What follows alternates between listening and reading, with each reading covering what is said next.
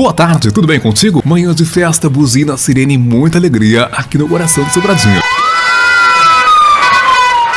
Estamos falando da APAI, que participou na última semana da 21ª Olimpíada Estadual das APAIs. E olha só, de lá voltaram muitos medalhistas em primeiro, segundo e terceiro lugar. E essa manhã então foi de desfile no coração do Sobradinho, aqui na praça, nas ruas do centro, mostrando um pouquinho essas vitórias conquistadas na última semana e, claro, representando muito bem o nosso município de Sobradinho.